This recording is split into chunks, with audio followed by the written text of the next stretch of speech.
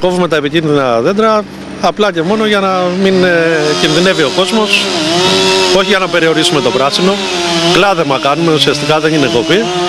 Και αυτό γίνεται για λόγους προστασίας, να μην υπάρχουν ατυχήματα, να μην ε, υπάρχουν τραυματισμοί ή ηλικές ζημιές στα διερχόμενα αυτοκίνητα και όλα αυτά.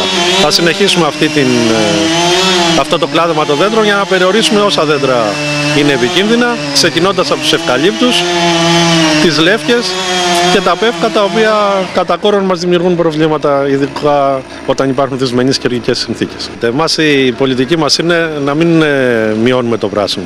Ότι ε, κόβουμε, προσπαθούμε να το αντικαθιστούμε όσο γίνεται πιο γρήγορα. Αλλά πάντα με γνώμονα τα δέντρα που θα βάλουμε να είναι ασφαλή για τον κόσμο και τα κατάλληλα στις ε, ιδιαίτερες κλιματολογικές συνθήκες που έχει η πόλη μας. Ε, και τα υπόλοιπα δέντρα τα κλαδεύουμε πάντα για περιορισμό και μόνο της επικινδυνότητας. Δεν κόβουμε δέντρα για κανένα άλλο λόγο.